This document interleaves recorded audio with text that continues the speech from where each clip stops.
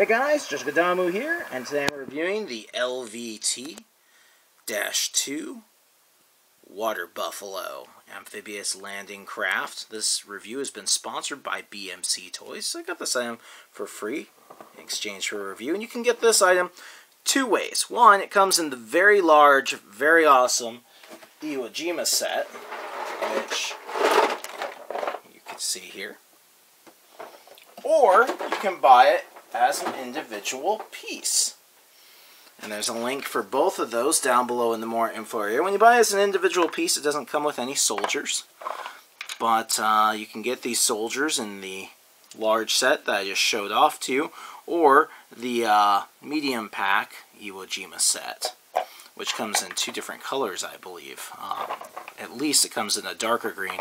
These these lighter green come with uh, the larger set for sure. Comes with various stickers.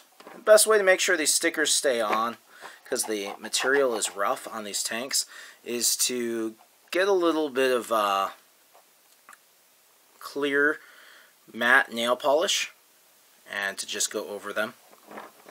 It'll help them stick a little bit better. It's got little guns on the sides can turn. Front gun turns. You can cram several soldiers in here, especially if you don't use this guy who's on the box.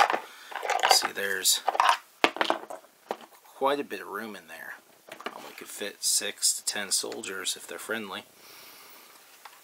Nice, solid vehicle. Just so you can see how big it is. And here is our radio man. It's quite the large piece.